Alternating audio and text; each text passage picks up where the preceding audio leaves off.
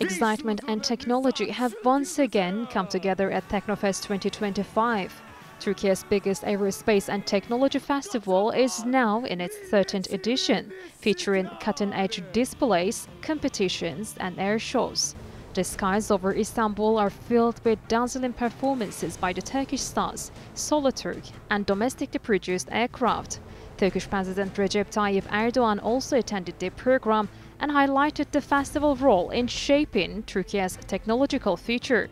Karada, havada, We are writing new success stories in the air, on land, and at sea with our own domestically produced products and systems. We are the world's 11th largest country in defense exports. We are among the top three in the world in unmanned aerial vehicle technology. In design and serial production, we are one of 10 countries to have launched our own warship, our control radars, and electronic warfare systems. We are adding strength to our power on land. A star attraction was an exhibition of Turkey's growing air power, the Bayraktar Kızıl Elma unmanned fighter jet, the training aircraft Hürjet, and the nation's first locally designed and produced multi-role utility helicopter, Gökbey.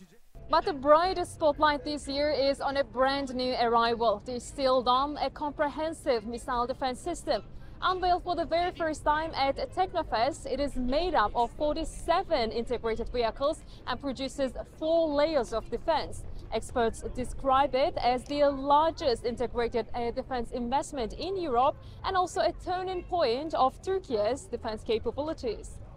And here at the festival, it's not just a static display. Visitors step inside an interactive experience zone, seeing firsthand how the system detects and responds to aerial threats.